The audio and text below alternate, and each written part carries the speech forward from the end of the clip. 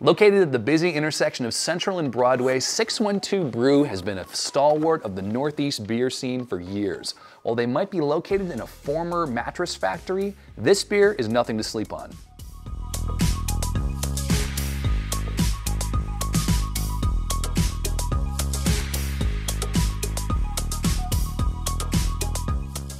Music isn't a commodity, it's a craft.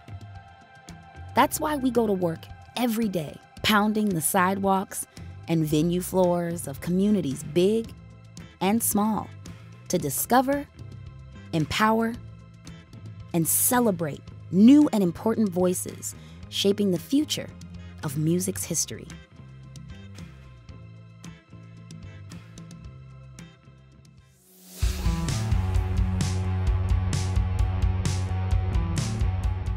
The way we kind of approach brewing here at 612 um, has changed a lot over the years.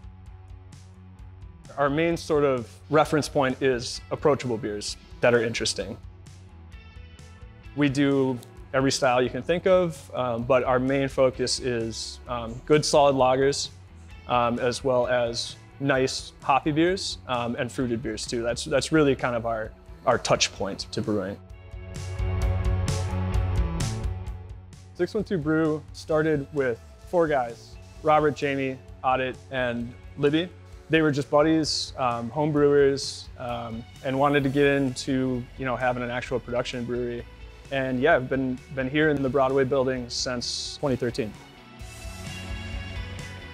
Broadway building is a former mattress factory that was standing just sort of vacant. 612 Brew is actually the first company to move in here and since then, Spyhouse Coffees upstairs, um, tons of other businesses in the building too.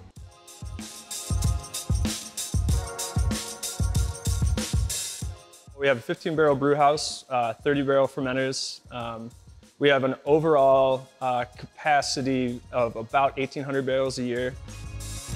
We also have this tap room.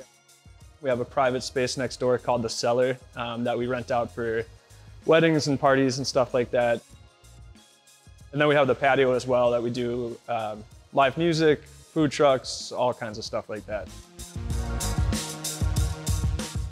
Our core beers are Hazy IPA, Honey Blonde, and Mill City Pils.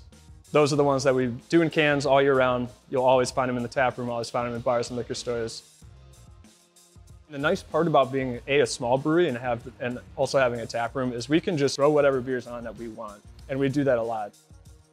On an average year, we'll probably do 30 to 40 different beers, but we do everything from you know hard seltzers to barrel-aged imperial stouts, sour beers, all of that stuff. So we have a lot of flexibility.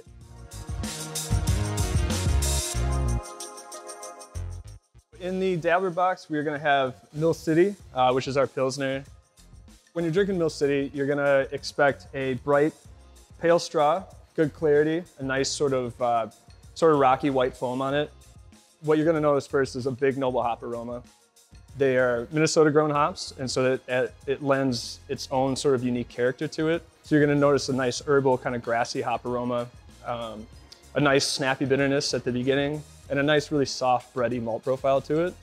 And it crushes. I mean, you can, you can drink a lot of these, so. As far as using 100% Maltwerks malt in this, their Pilsner malt is, is as good as really any you can find. It's just really consistent, really, really nice malt. And then we use it for, for a lot of our beers now.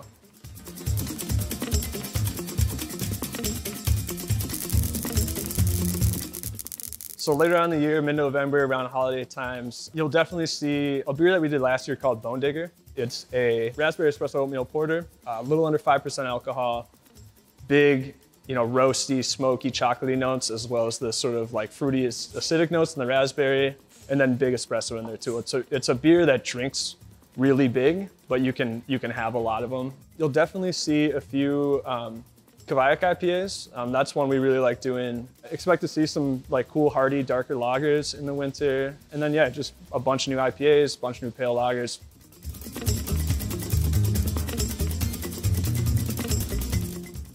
Thanks, everybody. I really hope you enjoy Mill City. Um, I think you will, and uh, cheers.